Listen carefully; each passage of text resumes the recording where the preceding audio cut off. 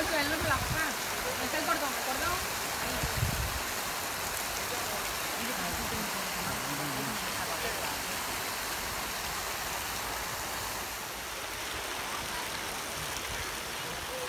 Tiene como objetivo la renovación de la fuente del paseo, que creo que se merecía el paseo una fuente digo, con una mejor apariencia.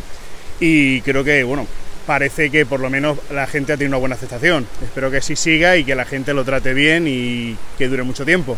Gracias. En nombre de la asociación de aquí del paseo, dar las la gracias al ayuntamiento por esta fuente que nos ha inaugurado. Hay gustos para todos, hay gente que dice que está muy bien, otros que están menos bien, pero para nosotros en general la vemos muy bien. Muchas gracias. Buenos días, en primer lugar agradecer a los medios de comunicación en el acto de la inauguración de la fuente, eh, al señor alcalde, director de obra, constructora, todos los presentes. Eh, ¿Por qué surge esta idea de la fuente de, la nueva construcción de la fuente del paseo? Nos encontramos en el paseo marítimo de Puerto Mazarrón, que es un sitio emblemático y queremos recuperar el, punto de encuentro en este entorno turístico y marinero. Eh, como pueden observar, la fuente tiene un, orificio ovalado que se encuentra en, el medio un barco y la gracia de la fuente, su, elegancia es que los chorros de agua simulan la vela y el casco del barco.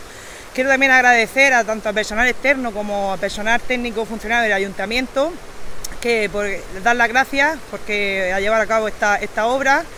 Y por último me gustaría hacer un llamamiento tanto a los mazarroneros como a los visitantes eh, que la cuiden, que la hagan suya y que disfruten de la fuente y así todos podemos también disfrutar de ella. Muchas gracias. Le doy la palabra al señor alcalde Gaspar Mira. A todos y a todas.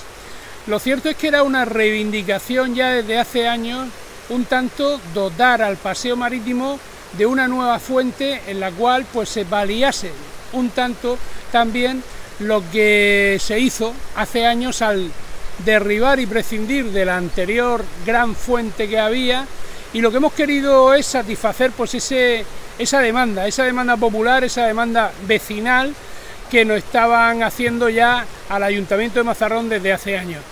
Con la fuente actual que hemos procedido a inaugurar esta mañana, pues lo que se intenta es realzar algo más lo que es nuestro paseo marítimo y nuestra fachada litoral, dándole pues esa importancia que tenemos, incluso apreciando como motivo de la propia fuente, pues esa labor marinera y tradición marinera que Puerto de Mazarrón ha tenido desde hace ya eh, muchos años.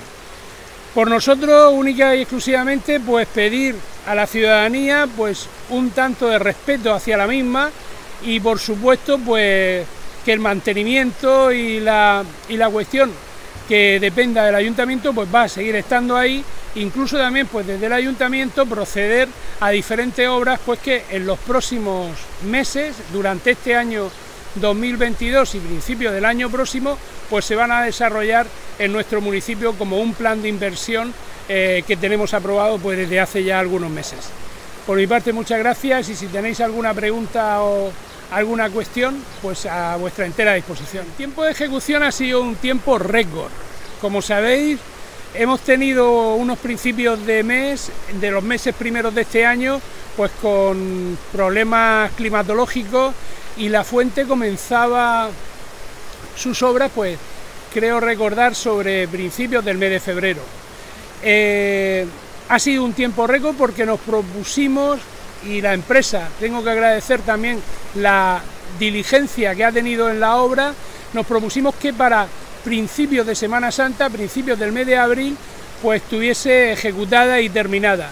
Ha estado unas semanas en fase de prueba y hoy procedemos ya a su inauguración pues definitiva porque el funcionamiento se ha comprobado pues que hay algunas cosillas, detalles que solucionar que se irán solventando, pero sin mayor importancia.